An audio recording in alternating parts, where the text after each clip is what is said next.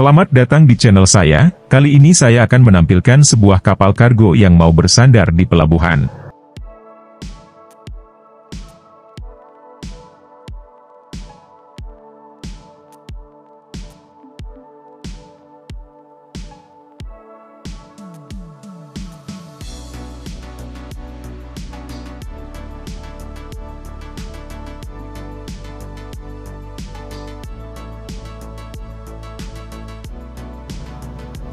Terlihat di depan sana kapal kargo yang baru datang dan diasis dua kapal harbor tag, dengan perlahan mendekati dermaga.